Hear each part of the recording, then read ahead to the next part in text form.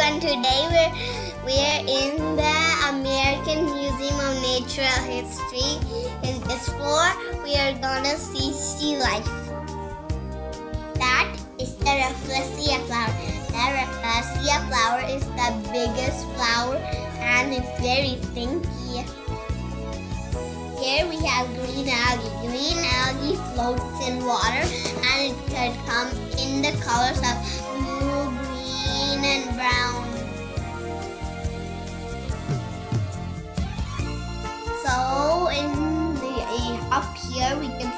of fish.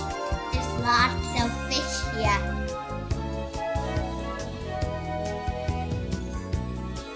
Let's see what else here we can see.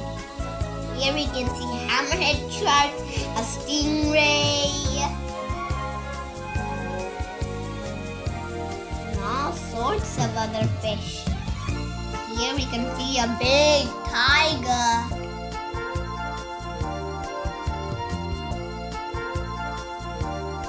Let's go inside. Up there we can inside we can see this mm, we can see this whale. This whale is big. Look how they are attached it to the ceiling.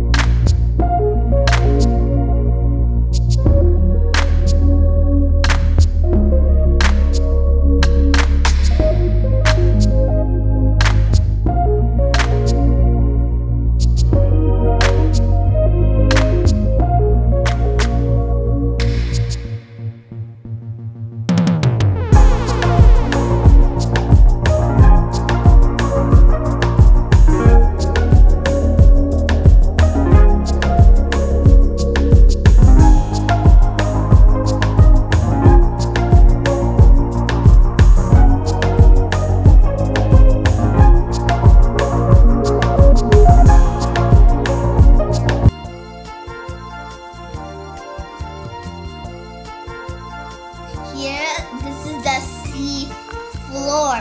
Do you know that the fish and animals that live in the bottom of the ocean make their own light and they can glow? There, we have some octopus.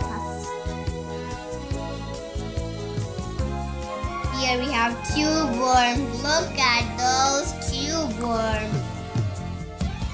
So if you like this video, like and subscribe and hit the bell. See you next time.